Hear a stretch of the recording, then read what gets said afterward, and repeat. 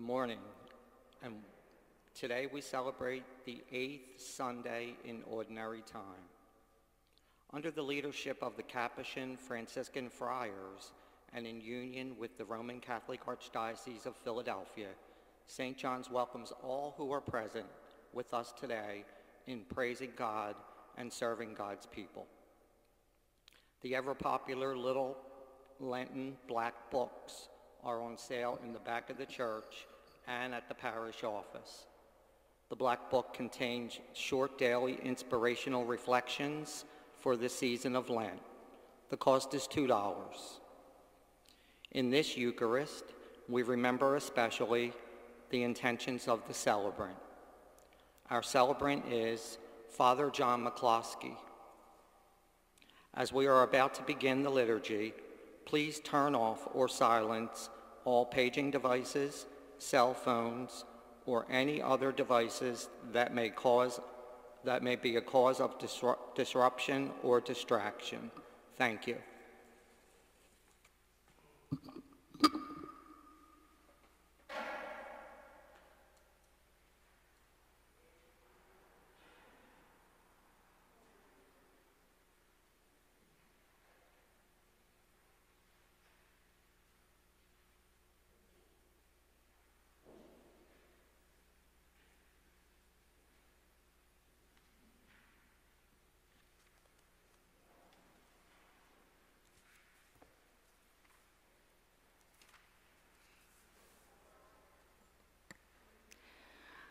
Our opening hymn is number 732, Alleluia, Sing to Jesus, 732. Please stand.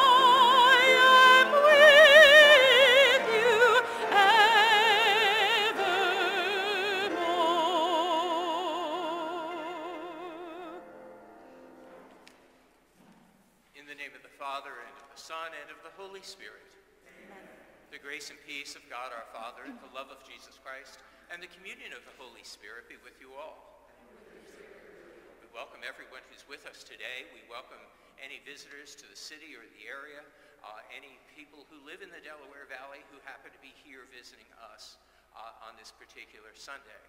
We are glad that we are all here together to worship the Lord, the Prince of Peace, in the midst of a troubled world. We also welcome those who are watching on our live stream. And uh, we make particular note that we have some secular Franciscans here this morning who are uh, going to be meeting afterwards. They're up in this area, and if anyone wants to talk about the uh, secular Franciscan order, ask any questions about it, uh, please uh, get in touch with one of them after Mass. As we prepare ourselves to worship this morning together, we begin, as always, acknowledging that we are sinners in need of the Lord's mercy.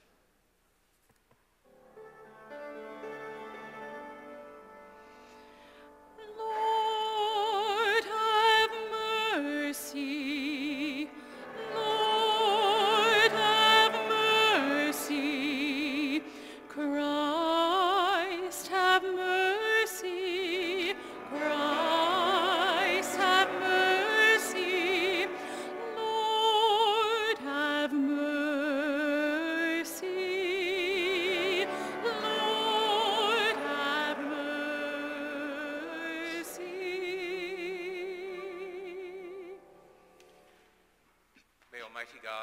mercy on us, forgive us our sins, and bring us to everlasting life.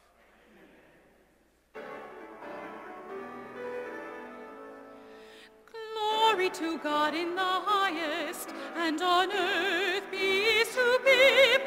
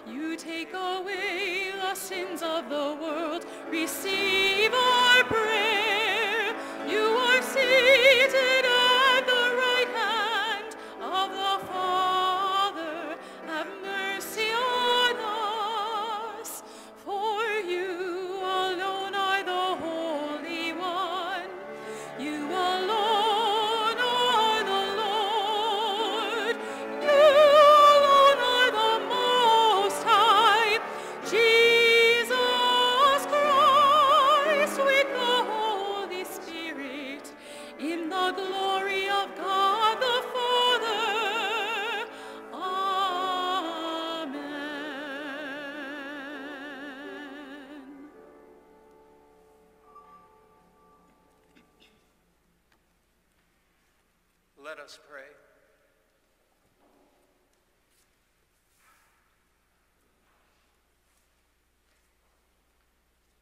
Grant us, O Lord, we pray, that the course of our world may be directed by your peaceful rule, and that your church may rejoice untroubled in her devotion.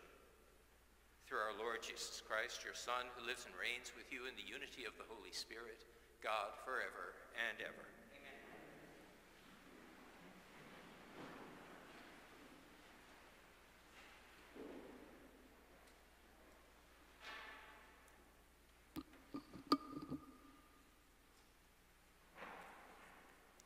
A reading from the book of Sirach. When a sieve is shaken, the husks appear. So do one's faults when one speaks. As the test of what the potter molds is in the furnace, so in tribulation is the test of the just. The fruit of a tree shows the care it, ha- it has had. So too does one's speech disclose the bent of one's mind. Praise no one before he speaks, for it is then that people are tested. The word of the Lord.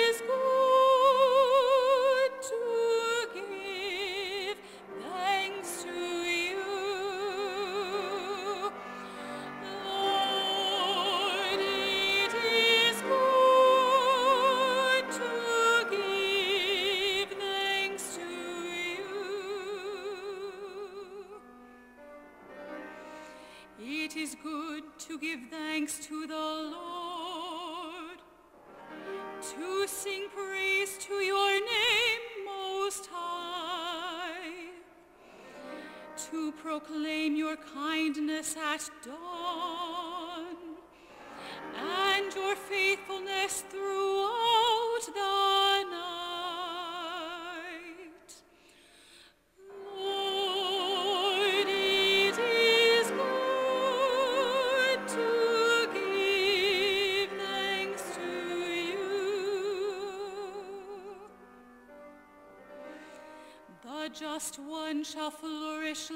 like palm tree, like a cedar of Lebanon shall he grow. They that are planted in the house of the Lord shall flourish in the courts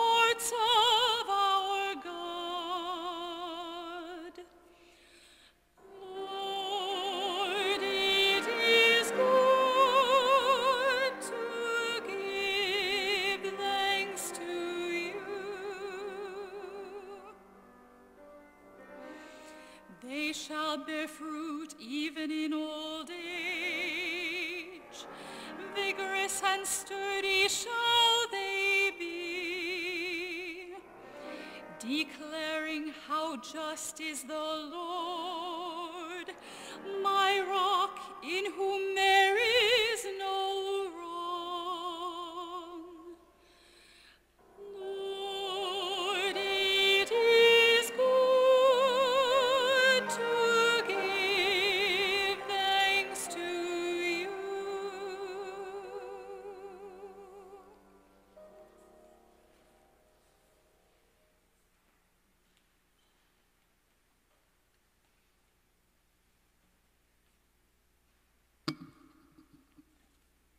reading from the first letter of St. Paul to the Corinthians.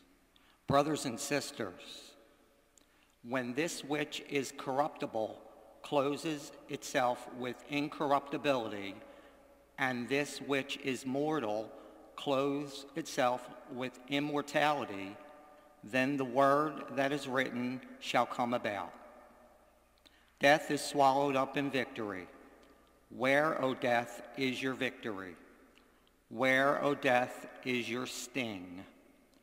The sting of death is sin, and the power of sin is the law. But thanks be to God who gives us the victory through our Lord Jesus Christ.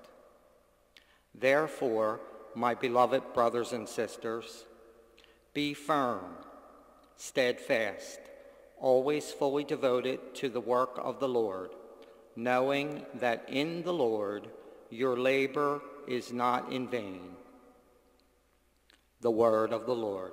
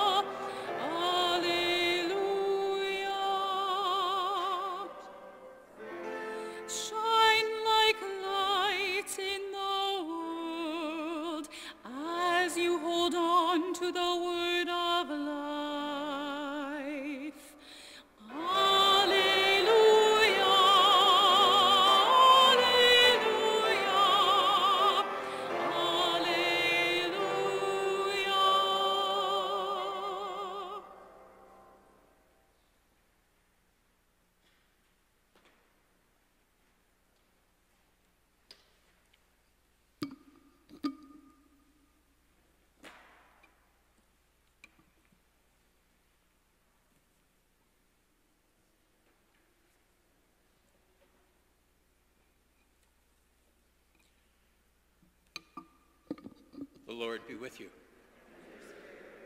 A reading from the Holy Gospel according to Luke. Jesus told his disciples a parable.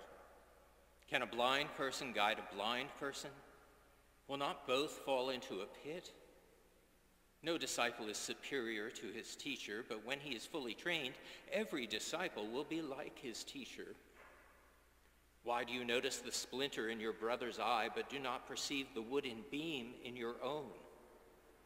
How can you say to your brother, Brother, let me remove that splinter in your eye, when you do not even notice the wooden beam in your own eye? You hypocrite. Remove the wooden beam from your eye first. Then you will see clearly to remove the splinter in your brother's eye. A good tree does not bear rotten fruit, nor does a rotten tree bear good fruit. For every tree is known by its own fruit. For people do not pick figs from thorn bushes, nor do they gather grapes from brambles. A good person out of the store of goodness in his heart produces good, but an evil person out of the store of evil produces evil. For from the fullness of the heart, the mouth speaks the gospel of the Lord.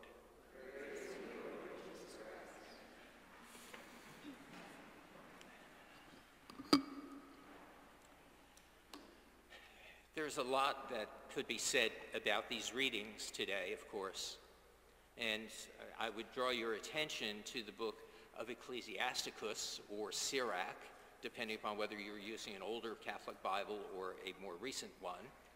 Uh, it is filled with good advice, and I'm not going to say anything about it. We can talk about war, suffering.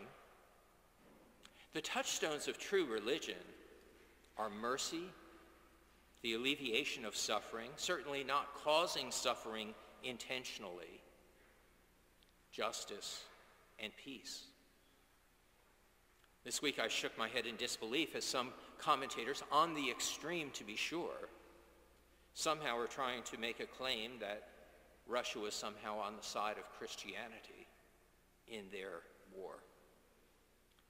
That sort of analysis is hogwash. It upends traditional Christian understandings about how individuals and about how governments are meant in Christ to behave. In politics and in geopolitics, it seems, there are a lot of wooden beams in a lot of eyes. And the gospel requires that each of us strive to see as clearly as we can our own selves, our own positions, and to refrain from judging unnecessarily. But we do need to make some judgments. So having said all that, it may be helpful on this Sunday to review briefly the Catholic position on peace and the justified use of force in war. These principles apply to everybody. They apply to Russia, to the Ukraine, to the U.S., to everyone. And these principles that I'm enunciating are taken pretty directly from the Catechism of the Catholic Church. Strength and power, might, does not make a person or a government right. And being generally right and good does not mean individuals or governments are permitted to do bad things for good reasons. The ends do not justify the means. Many of the earliest Christians were largely pacifist, and there is much in the gospel to commend pacifism. But pacifism is a witness to evangelical charity stands as a sign of contradiction to those who are violent. But pacifism is not required of Christians. In Catholic thought, peace is not simply the absence of war. And peace cannot be obtained unless the goods of persons and free communication among peoples and the respect for the dignity of individuals and people and the practice of the bonds of brotherhood are maintained. Those things are essential for peace. And all citizens and all governments are obliged to work to avoid war. Leaders of governments and leaders of peoples are morally obligated to seek the common good and not self-interest. Legitimate governments have the right to self-defense once all efforts for peace have failed. And in order to defend by military force, the aggressor must have been threatening damage that's lasting, grave, and certain. It can't be simply an affront. It can't be simply uh, an insult. It has to be the aggressor is threatening damage that is lasting, grave, and certain. And all other means of putting an end to it, to the aggression, have to be, be either shown to be impractical or ineffective. That violence and war, in defense even, are last resorts. There has to be an effective or a serious prospect of success. That countries cannot go to war for hopeless causes. And the use of arms cannot produce evils and disorders that are graver than the evil that is to be eliminated. That goes back to we cannot do good by evil means. Non-combatants, wounded soldiers, prisoners must be respected and treated humanely. Cities may never be targeted. Actions deliberately contrary to the law of nations and of the universal principles of justice are crimes. Blind obedience does not suffice to excuse those who carry out those crimes. And every act of war that is directed to indiscriminate destruction of whole cities or vast areas with their inhabitants, the Catechism says, is a crime against God and man. That's just a very basic summary of Catholic thought. Catholic theology on war, on when it is justified, when it is not justified, and how to think about it. Let me switch gears. Let me switch gears and speak a little bit about what we've heard in the, in the readings, or at least to make an allusion to them. When these Mass readings were decided and the lectionary of readings was published, the powers to, that did this had to make some decisions about what to include and what to exclude. Sometimes the readings seemed to go on far too long. But to my way of thinking, I wish that they had gone just one verse longer in the gospel. Because the very next verse is, why do you call me Lord, Lord, and do not do what I tell you? Why do you call me Lord, Lord, and not do what I tell you? On Wednesday, we begin Lent. May I suggest to you two ideas to guide your Lenten journey. First, all of us will be better persons if we spend more time reflecting on the beam in our own eye, less focused on the splinters in the eyes of others.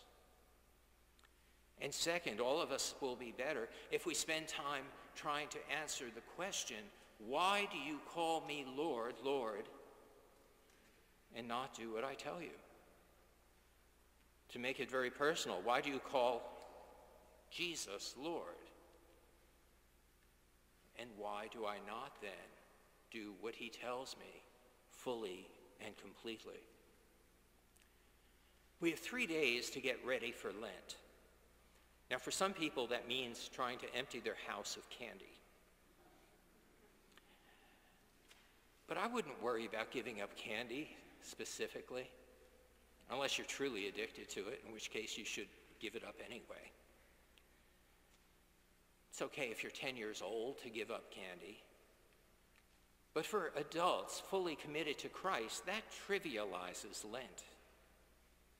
It trivializes our journey to Christ. Fast seriously this Lent. Fast from food or drink, media, fast from trivialities, fast from unnecessary engagements and controversies. That kind of fast is much harder.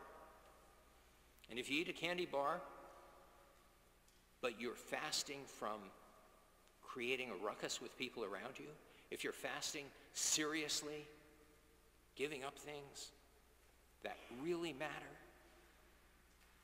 that's wonderful. Give generously. Give money generously. Consider tithing during Lent to whatever charity, to whatever cause, to whatever persons, to whatever, at least during Lent. Be generous and tithe. Pray diligently. Not just quickly memorized prayers, but sitting with the Lord, sitting with the scriptures of the Lord, sitting with our own thoughts in front of God, holding up our thoughts to him and seeing where we are in relationship to him, in relationship to his will for our lives. Fast seriously, give generously, pray diligently. If we do these things, when Easter comes, we may, by God's grace and our cooperation with God's grace, emerge as changed persons, more peaceful, more loving, less contentious, with quieter hearts, with more focused minds, with more self-insight, less judging, less angry. In a three-word phrase, this Lent, plan to be holy. Okay, four words. Plan to be holy. That's our Lenten journey. That idea of repentance for Lent isn't a matter of giving up small things. It's a matter of giving up anything that distracts us from Christ. Our Lenten journey of repentance doesn't simply mean repentance for sin. We should always have that. But that repentance, that idea, is rooted in a change of direction, and a Greek word for change of direction. As if you are moving about in a strange city and you're looking at your phone and you need to figure out how to get from here to where you want to go. Where you want to go is holiness. And looking at what route we should take to get there. That's the journey of, of the Christian. And that's the journey particularly of Lent.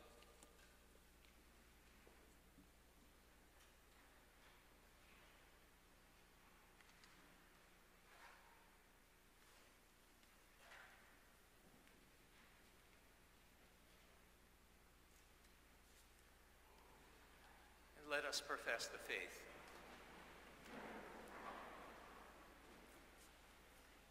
I believe in one God, the Father Almighty, maker of heaven and earth, of all things visible and invisible. I believe in one Lord Jesus Christ, the only begotten Son of God, born of the Father before all ages, God from God, light from light, true God from true God, begotten, not made, consubstantial with the Father. Through him all things were made. For us men and for our salvation, he came down from heaven, and by the Holy Spirit was incarnate of the Virgin Mary, and became man. For our sake he was crucified under Pontius Pilate. He suffered death and was buried, and rose again on the third day in accordance with the Scriptures. He ascended into heaven, and is seated at the right hand of the Father. He will come again in glory to judge the living and the dead, and his kingdom will have no end. I believe in the Holy Spirit, the Lord, the giver of life, who proceeds from the Father and the Son, who with the Father and the Son is adored and glorified, who has spoken through the prophets. I believe in one holy Catholic and Apostolic Church. I confess one baptism for the forgiveness of sins, and I look forward to the resurrection of the dead and the life of the world to come. Amen.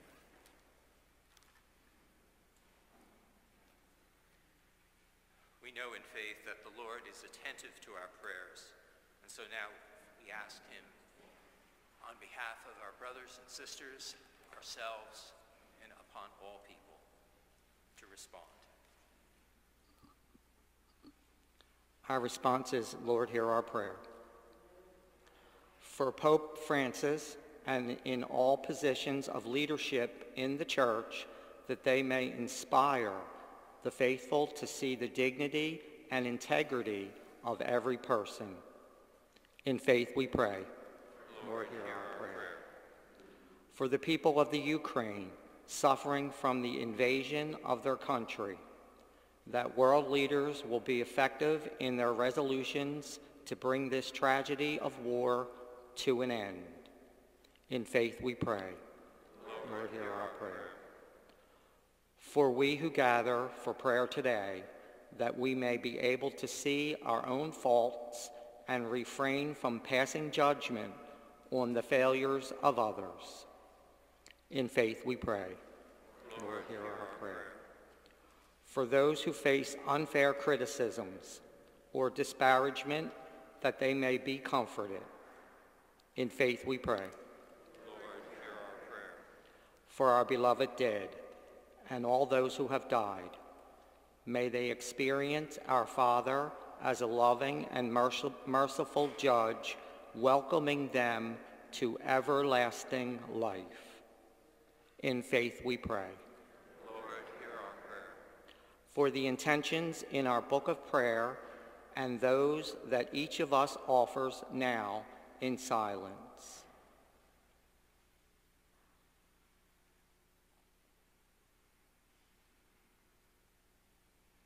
And for the intentions of the celebrant, remembered especially in this Eucharist. In faith we pray. Lord, hear our prayer. Almighty Father, God of goodness and light and peace and justice, teach us your wisdom as you lead us on the path to holiness. We pray that you hear our prayers and all the prayers we leave unvoiced in our hearts. Through your Son, our Lord Jesus Christ. Amen.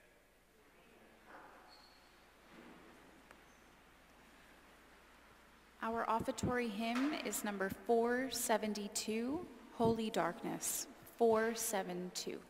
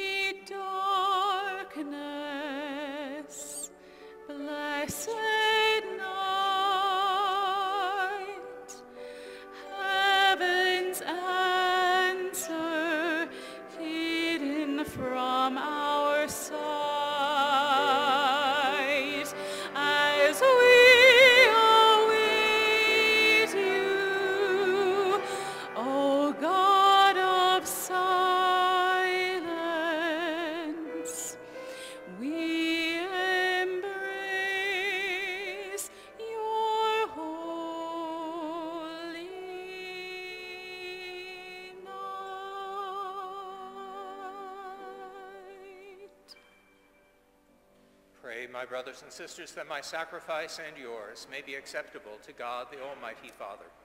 May the Lord accept the sacrifice at your hands for the praise and the glory of his name, for our good and good of all of his holy church.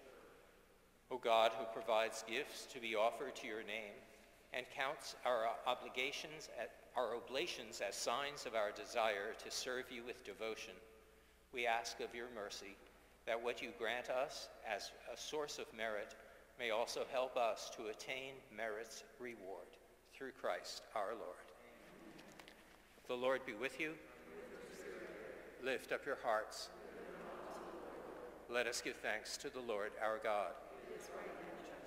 It is truly right and just our, to give you thanks and to raise to you a hymn of glory and praise, O Lord, Father of infinite goodness.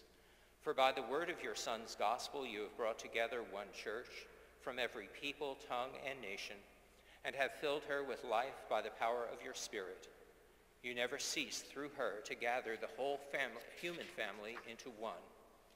Manifesting the covenant of your love, she dispenses without ceasing the blessed hope of your kingdom and shines bright as the sign of your faithfulness, which in Christ Jesus our Lord you promised would last for eternity. And so with all the powers of heaven we worship you constantly on earth, while with all the church as one voice we acclaim.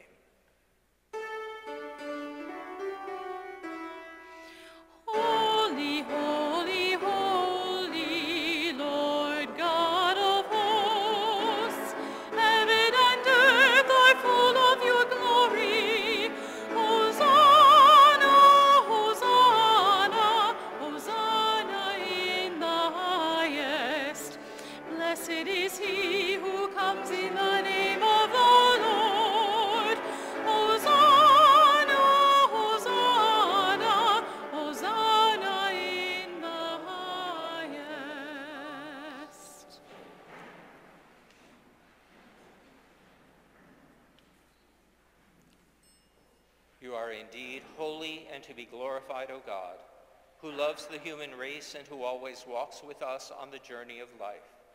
Blessed indeed is your Son present in our midst when we are gathered by his love, and when, as once for the disciples, so now for us, he opens the scriptures and breaks the bread.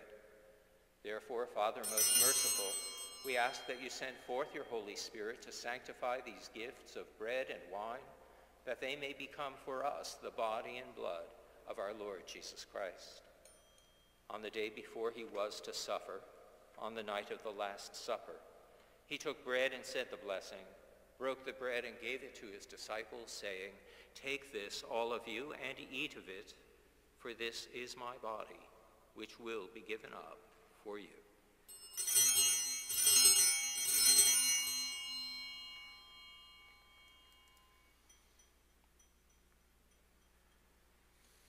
In a similar way, when supper was ended, he took the chalice, gave you thanks, and gave the chalice to his disciples, saying, Take this, all of you, and drink from it, for this is the chalice of my blood, the blood of the new and eternal covenant, which will be poured out for you and for many for the forgiveness of sins. Do this in memory of me.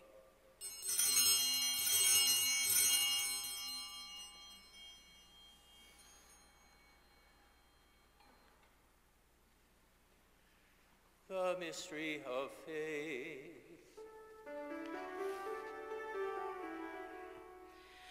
When we eat this bread and drink this cup, we proclaim your death, O Lord, until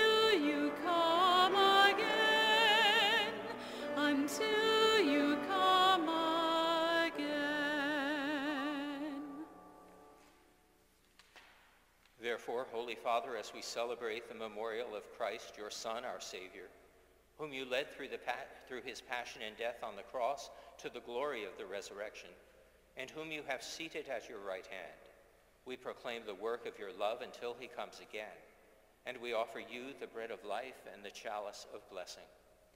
Look with favor on the oblation of your church, in which we show forth the paschal sacrifice of Christ that has been handed on to us. And grant that by the power of the Spirit of your love we may be counted now and until the day of eternity among the members of your Son, in whose body and blood we have communion. Lord, renew your church by the light of the gospel. Strengthen the bond of unity between the faithful and the pastors of your people, together with Francis our Pope and Nelson our Bishop, and the whole order of bishops, that in a world torn by strife, your people may shine forth as a prophetic sign of unity and concord. Remember our brothers and sisters who have fallen asleep in the peace of your Christ, and all the dead whose faith you alone have known. Admit them to rejoice in the light of your face, and in the resurrection give them the fullness of life. Grant also to us, when our earthly pilgrimage is done, that we may come to an eternal dwelling place and live with you forever, there in communion with the Blessed Virgin Mary, Mother of God, with, blessed, with the blessed apostles and martyrs, with St. John the Evangelist, and with all the saints, we shall praise and exalt you through Jesus Christ, your Son. Through him and with him and in him, O God, Almighty Father, in the unity of the Holy Spirit, all glory and honor is yours forever and ever.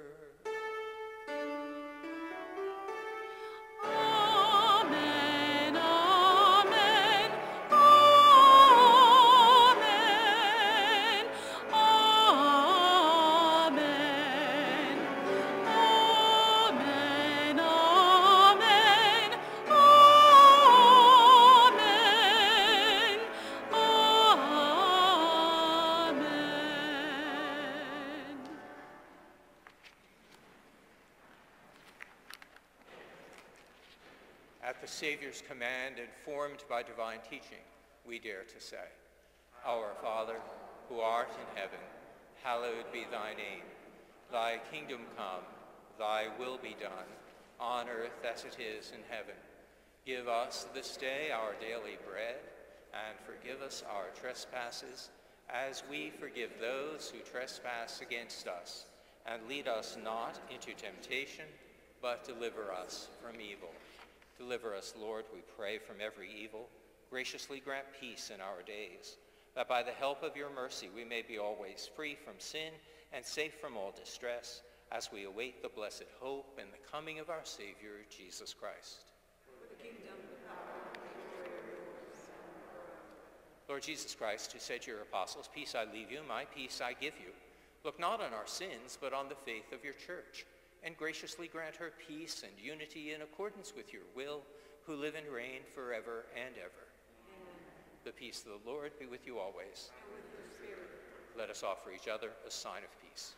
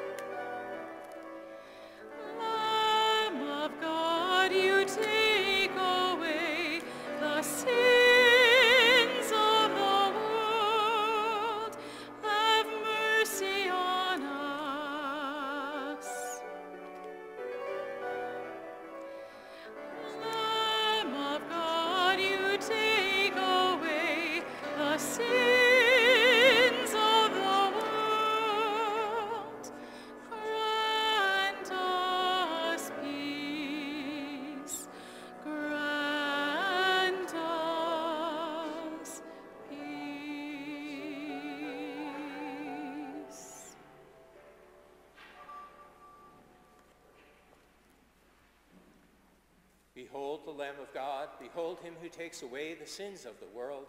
Blessed are those called to the supper of the Lamb. Lord, I am not worthy that you should enter under my roof, but only say the word, and my soul shall be healed.